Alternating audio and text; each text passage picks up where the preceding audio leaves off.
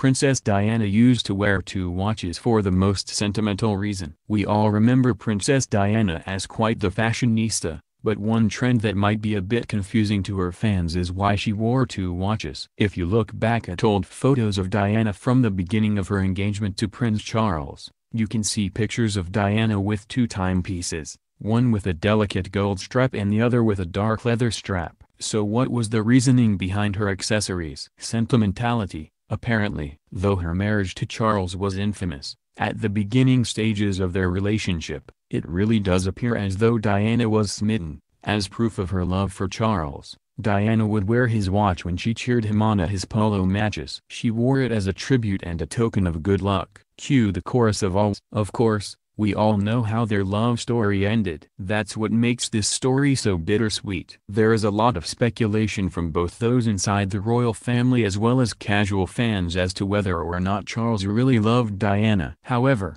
the same cannot be said for Diana. It's very obvious that from the start there was a real sense of love and affection, at least on her part, for Charles. Fortunately, two very wonderful things came from their tumultuous union. Prince William and Prince Harry. Diana's beloved sons have continued their mother's passionate work for humanitarian aid, and they are truly striving each and every day to make the world a better place.